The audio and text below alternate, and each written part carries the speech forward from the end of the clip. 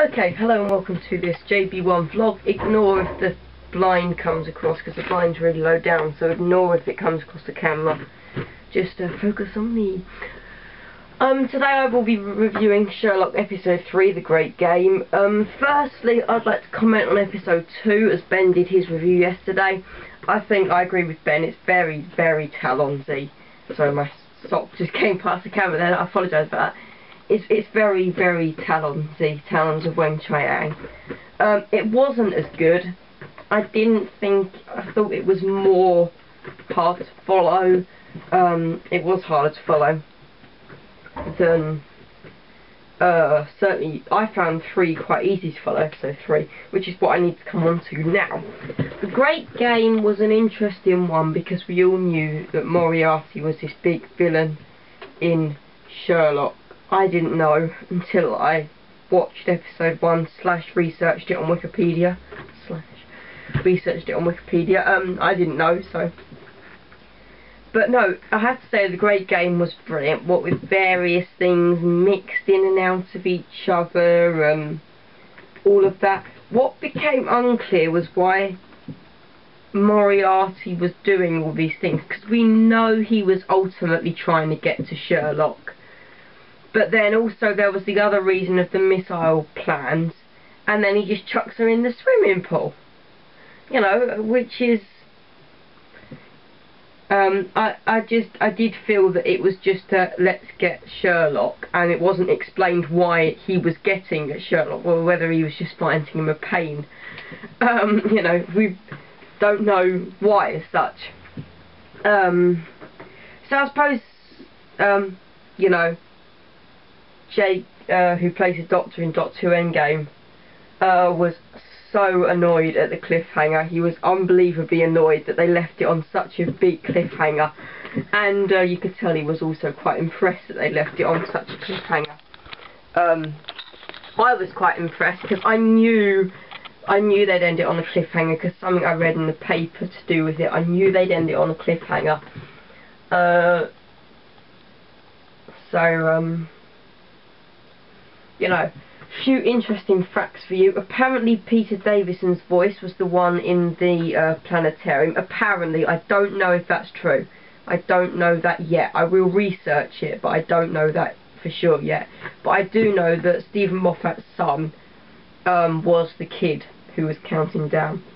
Um, I thought it was very clever with the star and the reason why they got to kill those certain people and and stuff and it was a bit like solving lots of mini mysteries in one because no we're not going to have a six episode series. We're going to have a three episode series and in episode three we're going to have the Carl Powers case we're going to have this case this case this case.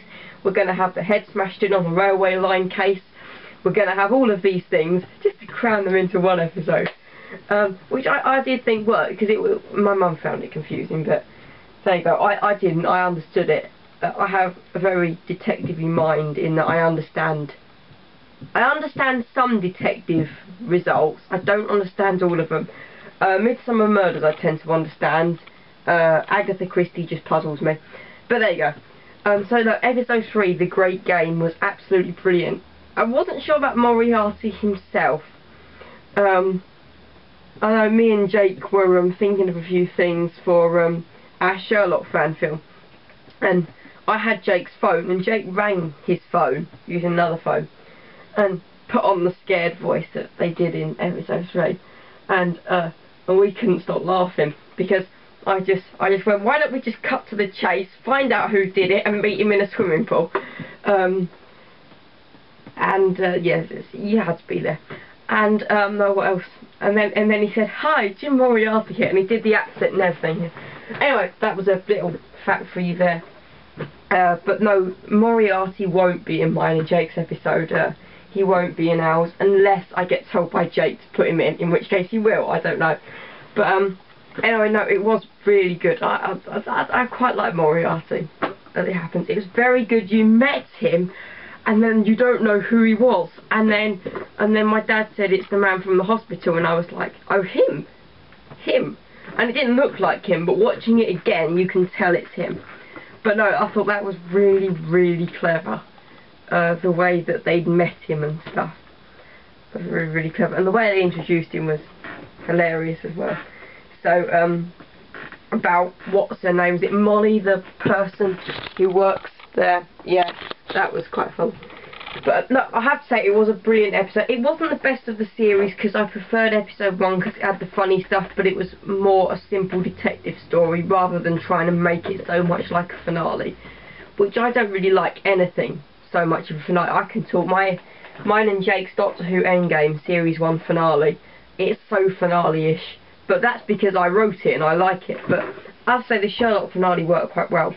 They are doing a series two of Sherlock, so roll on series two and I will see you I will see you on Monday because I don't we I'm going to talk to Ben about not doing weekend vlogs.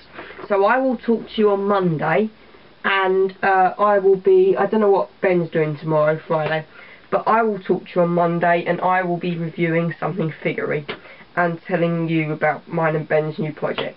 So I'll see you on Monday